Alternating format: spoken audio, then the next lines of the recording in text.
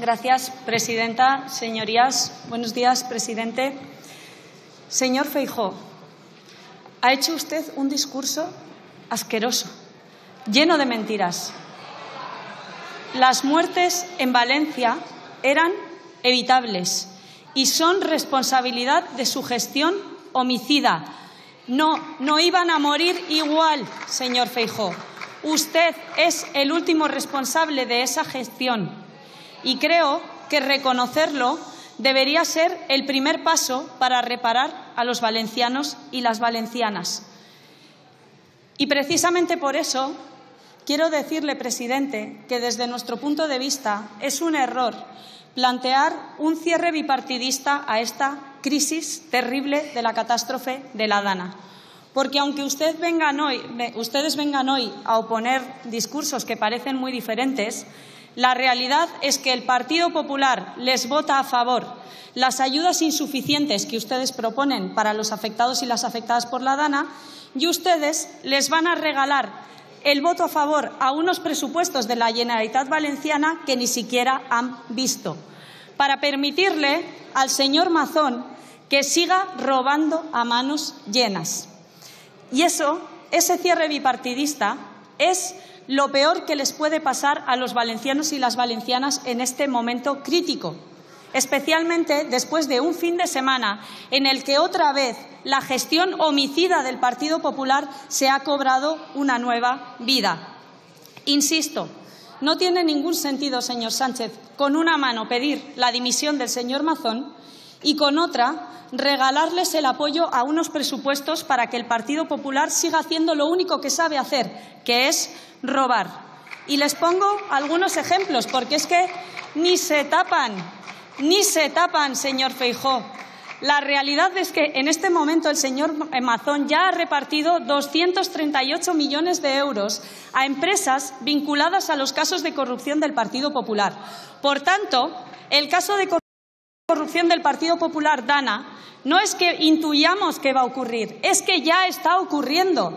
Es que dos de las empresas que están en todas las salsas del menú de corrupción del Partido Popular, que son Bexa y CHM, estas dos empresas se han llevado ya 27 millones de euros de la reconstrucción en adjudicaciones entre la Consejería de Infraestructuras, la de Agricultura y Agua y la Diputación.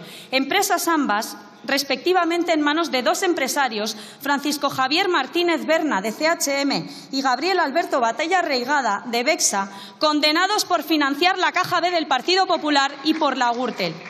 Y después hay otro reguero de empresas que se han llevado el resto de millones, la Sociedad de Agricultores de la Vega, Faxa, FCC, Pavago Ambiental, OCIDE, Pavasal, el Grupo Robert Alcisa, todas empresas implicadas en alguno de los casos de corrupción del Partido Popular Valenciano, o la Gürtel, o el caso Taula, o el caso Azud, o el caso Fabra II. Señor Sánchez, si el Partido Popular nos engaña una vez, es culpa del Partido Popular. Pero si nos engaña dos veces, es culpa nuestra. Y por eso usted tiene que impedir que el Partido Popular toque un solo euro del dinero de la reconstrucción, porque ya sabemos lo que va a ocurrir, que no va a ir a los valencianos y las valencianas, va a ir a los bolsillos de sus amigos. Y además, sí, están ustedes muy enfadados porque esta es la pura realidad, que ustedes se lo quieren llevar crudo con el dinero de la reconstrucción. Y eso es lo único en lo que están pensando, no en los valencianos y las valencianas. Un momento, señoría. Señora Rodríguez Calleja, le ruego que modere sus interrupciones, por favor. Sí. Le ruego. Gracias, presidente. Y creo que su Gobierno tiene que hacer también una reflexión sobre la cantidad y la calidad de las ayudas que están acordando. Las ayudas no son suficientes, presidente. La gente más humilde, la gente que está en la situación más precaria, necesita ayudas que cubran el 100% de las cosas que han perdido necesitan las personas, por ejemplo, que están en situación administrativa irregular, las víctimas de violencia machista, las personas que están en situación de calle, necesitan ayudas integrales. Necesitan tener papeles, que se apruebe de una vez por todas la ILP de regularización. Necesitamos una renta básica universal para todas las personas que están en la zona y necesitamos que se condonen íntegramente las hipotecas y los alquileres. Eso es lo que está esperando la gente de Valencia. Y además, presidente, Creo que usted también tiene cosas importantes de las que hablar hoy aquí porque últimamente no se prodiga mucho en el Congreso. Creo que tiene que hablar también de esas cosas importantes que preocupan a los españoles y las españolas. Nosotras, lo sé muy bien, podríamos hacer lo que hicieron ustedes en el año 2015 y 2016 e intentar sacar rédito electoral, como hicieron ustedes cuando se acusó a Podemos de cosas gravísimas, siempre sin presentar ninguna prueba, pero no lo vamos a hacer porque nosotras no somos como ustedes. Nosotras no vamos a valorar la declaración de Aldama, que ha vertido acusaciones gravísimas sobre altos cargos del Partido Socialista en activo, hasta que no se presente ninguna prueba de esas, de esas acusaciones tan graves. Pero, señor presidente, eso no nos impide ver la gravedad del caso que afecta al señor Ábalos, que es muy grave. Y creo que la gente se merece en primer lugar, la verdad. Nosotras, y creo que la gente de este país merece saber la verdad, queremos saber si usted cesó al señor Ábalos en julio del 2021 porque tuvo conocimiento de sus actuaciones al margen de la ley. Y creo que España se merece también, precisamente para cuidar el bloque progresista, que el Partido Socialista responda con su patrimonio de todo el dinero que se llevaron sus corruptos, porque ustedes los eligieron, no los eligieron los españoles y las españolas. Pero es que no se trata solo de que se ha destapado un gravísimo caso de corrupción en sus filas. Después de un año de legislatura efectiva, lo que estamos viendo es que este nuevo Gobierno tiene su hoja de servicios en blanco.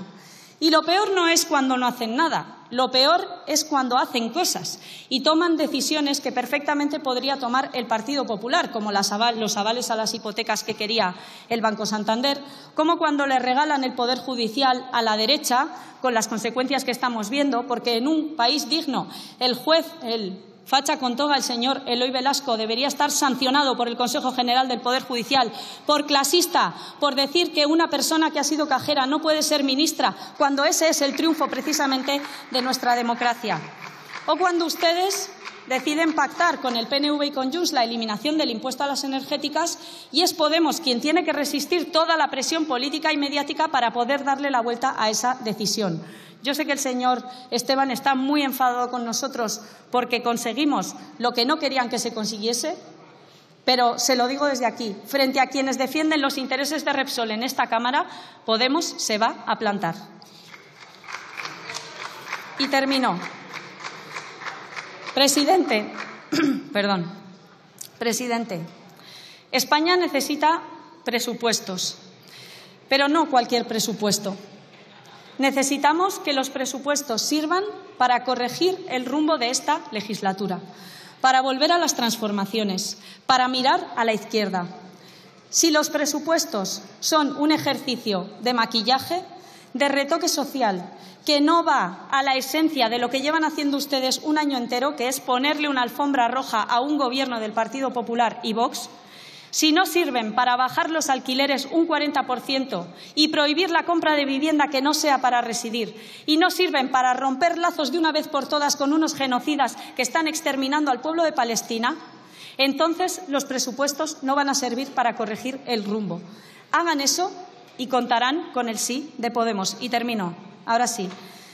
En un día como hoy, en el que se está celebrando una sesión en la Comisión Europea, en el Europarlamento, muy importante, quiero decirles que es indefendible, señorías del Partido Socialista, que ustedes se presenten en España como el freno a la ultraderecha cuando ustedes en este momento están aceptando los votos de la extrema derecha para hacer comisaria a la señora Rivera y están poniendo sus votos para hacer comisarios a gente de la extrema derecha. Así no se frena a las derechas, se les frena haciendo políticas valientes como hacía Podemos en el Gobierno. Muchas gracias. Gracias.